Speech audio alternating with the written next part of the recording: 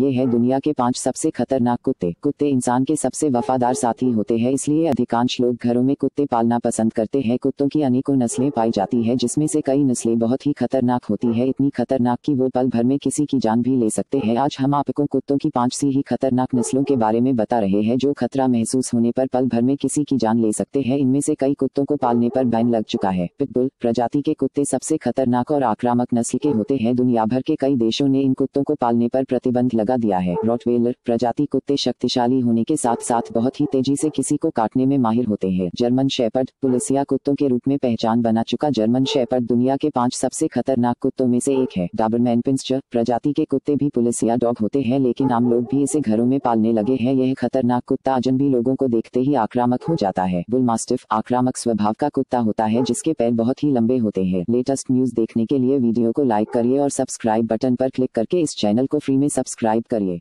ये है दुनिया के पांच सबसे